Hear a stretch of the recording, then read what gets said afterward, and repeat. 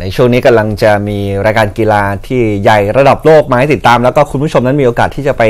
เป็นส่วนหนึ่งในประวัติศาสตร์ของวงการกีฬานี้ด้วยครับ ไม่ว่าจะเป็นออสเตรเลียนโอเพนหรือว่าในศึกซูเปอร์โบว์ครับจะมีขึ้นในช่วงปลายเดือนต่อต้นเดือนหน้านี้ มีข่าวดีครับสำหรับทั้ง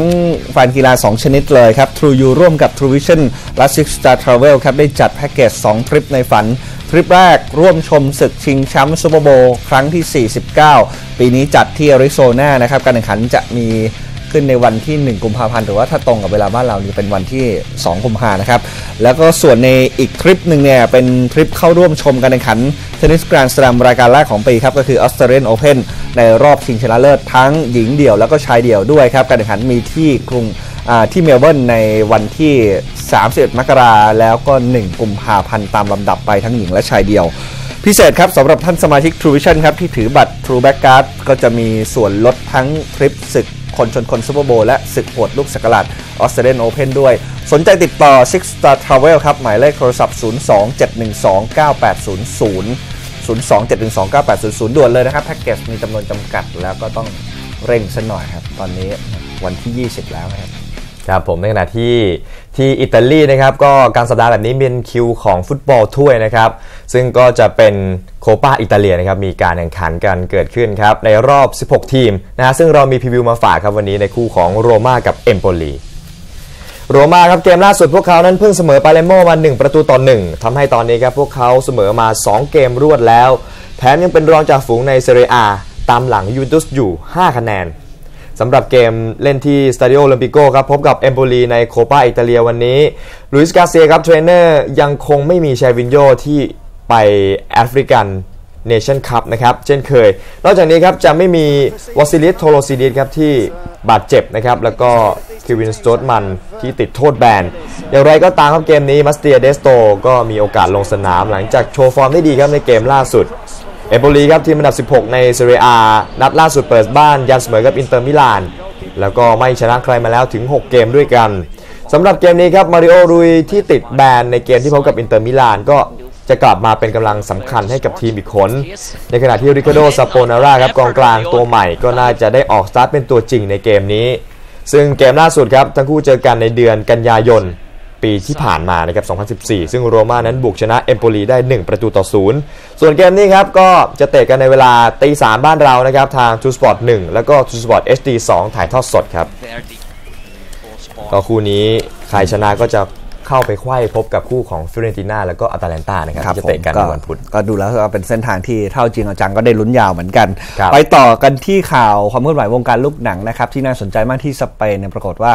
มีทีมแอตเลติโกมาดริดนะครับอาจจะได้ผู้ร่วมทุนเป็นเศรษฐีรายใหญ่ของโลกมาจากเมืองจีนนะครับติดตามรายละเอียดเรื่องนี้ครับโดยสื่อที่รายงานก็คืออาสครับสื่อกีฬาดังของสเปน บอกว่าทางแอตเลติโกมาดริดเนี่ยตกลงขายหุ้นจำนวน 20%ให้กับหวังเจี้ยนเหรียญครับ ซึ่งเป็นเศรษฐีชื่อดังของเมืองจีนแผ่นดินใหญ่นู่นเลยครับ รายงานข่าวบอกว่าเอ็นริเก้เซเรโซครับประธานของแอตเลติโกมาดริดแล้วก็รวมไปถึงทางอังเกลกิลด้วยครับ CEO ของทีมตราหมีเนี่ยบินไปที่กรุงปักกิ่งนะครับเพื่อที่จะเจรจาขายหุ้นให้กับหวังเจี้ยนเหรียญด้วย ปัจจุบันหวังเจี้ยนเหรียญเขาเป็นเจ้าของกิจการต้านเหรียญวันด้ากรุ๊ปนะครับ ซึ่งมีธุรกิจครอบคลุมทั้งการท่องเที่ยวโรงแรมโรงพยาบาล แล้วก็เป็นเครือโรงภาพยนตร์ที่ใหญ่ที่สุดในโลกด้วยบวกกับอสังหาริมทรัพย์อื่น ๆ อีกมากมายในจีน ตามรายงานข่าวจากนิตยสารฟอร์บก็ระบุว่าหวังเจิ้นเหรียญมีทรัพย์สินมูลค่าที่ประเมินไว้ตอนนี้ 18.2 พันล้านเหรียญ US นะครับ แล้วก็ถูกจัดเป็นเศรษฐีอันดับที่ 42 ของโลกด้วยในปัจจุบัน แอตเลติโกมาดริดเองก็หวังว่าจะได้เงินเข้ามาลงทุนในสโมสรราว 40 ล้านยูโรครับ และหากว่าตกลงกันได้แล้ว หวังเจี้ยนหลินจะเข้ามานั่งเก้าอี้ประธานสโมสรแทนที่ของเซเรโซด้วยครับ ซึ่งเซเรโซนั้นก็อยู่มายาวตั้งแต่ปี 2002 นู่นแล้ว หลายปีที่ผ่านมาครับแชมป์เก่าลาลิก้ามีปัญหาเรื่องการเงินการร่วมทุนกับ หวังนั้นก็ยังถือว่าจะเป็นข้อดีหลายอย่าง นอกจากจะได้เงินเข้ามาเสริมแล้วก็ยังเป็นการเปิดตลาดใหญ่ในเอเชียด้วยครับ และจะเป็นการเพิ่มความสนใจกับชาวจีนมากขึ้นหวังเจี้ยนหลินครับเป็นหนึ่งในเจ้าของธุรกิจโรงภาพยนตร์ที่ใหญ่ที่สุดในโลกก็จะได้รับการสนับสนุนจากแฟนบอลแอตเลติโกด้วยเหมือนกัน ซึ่งก็ต้องการให้สโมสรนั้นมีโครงสร้างทางการเงินได้ มากระดับไล่เลี่ยกับเรอัลมาดริดหรือแม้กระทั่งบาร์เซโลนาด้วย ตอนนี้ครับนับว่าวงการฟุตบอลสเปนก็ได้รับความสนใจจากกลุ่มนักลงทุนจากต่างชาติมากขึ้นในช่วงหลายปีที่ผ่านมาอาทิเช่น สมาชิกในราชวงศ์กาตาร์ก็ได้ได้มีการซื้อสโมสรมาลาก้าเมื่อปี 2010 แม้ว่าจะหวือหวาได้แค่แป๊บเดียวก็ตามแต่ว่าล่าสุดเนี่ยเมื่อช่วงซัมเมอร์ที่ผ่านมานี่เองปีเตอร์ลิมครับมหาเศรษฐีชาวสิงคโปร์เป็นนักลงทุนที่เข้ามาถือหุ้นใหญ่ของสโมสรบาเลนเซียเหมือนกัน ส่วนแอตเลติโกมาดริดหลังจากประสบความสำเร็จฟอร์มดีมากเมื่อปีก่อนเป็นแชมป์ลาลิก้าสเปนมาได้ก็ทำให้ทีมนั้นถือว่ามีความคล่องตัวมากขึ้นทั้งฟอร์มในสนามแล้วก็เรื่องของการตลาดของทีมด้วยนะครับจึงเป็นเรื่องที่น่าสนใจการลงทุนเข้ามาใหม่ๆเนี่ยอาจจะรายงานว่าบางทีเนี่ยอาจจะมีการสร้างศูนย์ฝึกซ้อม training complex ที่สมบูรณ์แบบแล้วก็มีความจุสำหรับ 15,000 ที่นั่งไว้รองรับการแข่งขันของทีมระดับชุด B หรือว่าชุดเยาวชนของทีมแอตเลติโกมาดริดด้วยนะครับเดี๋ยวรอดูว่าจะดีลนี้จะจบลงเมื่อไหร่ครับขณะที่ทางสโมสรบาร์เซโลนาครับก็ได้รับข่าวดีเมื่อชาบีเอร์นานเดซครับหายเจ็บกลับมาลงซ้อมแล้วครับเมื่อวันจันทร์ที่ผ่านมา แต่ก็ยังคงไม่มี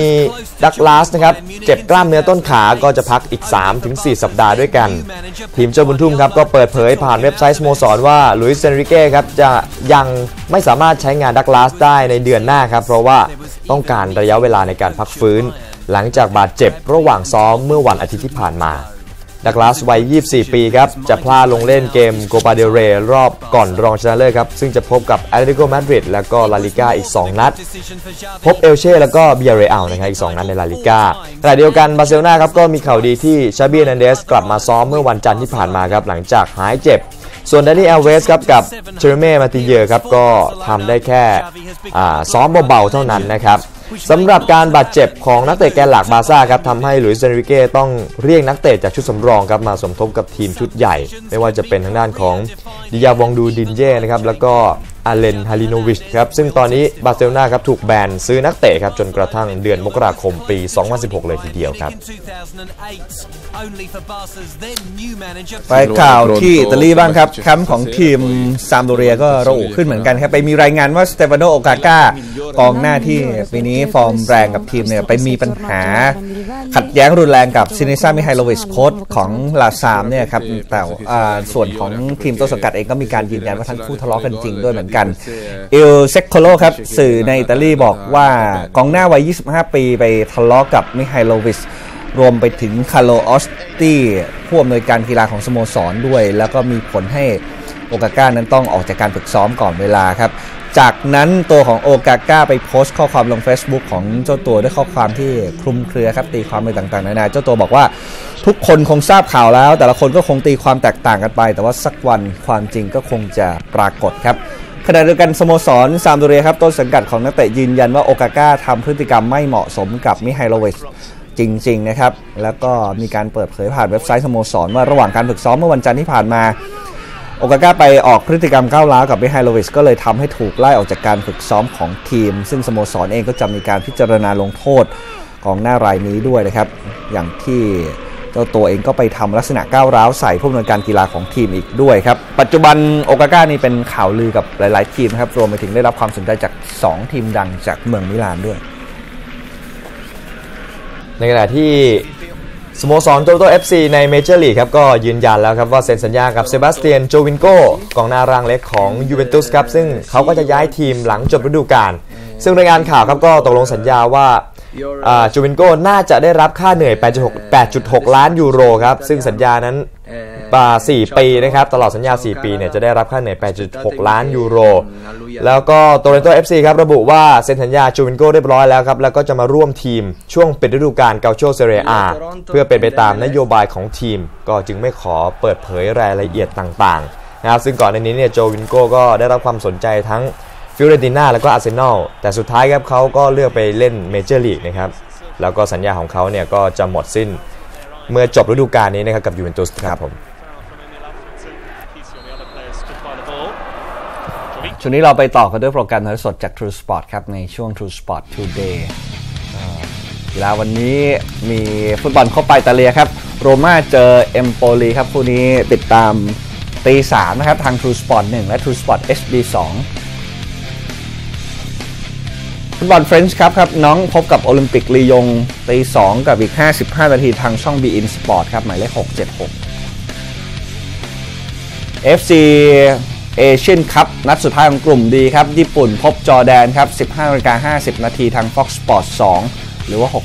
689 อีกคู่หนึ่งเตะพร้อมกันครับ สายเดียวกันอิรักพบกับปาเลสไตน์ทาง Fox Sports 3 นะครับ หรือว่าช่อง 690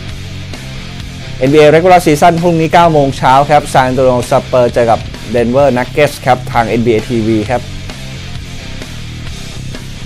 เทนนิสออสเตรเลียนโอเพน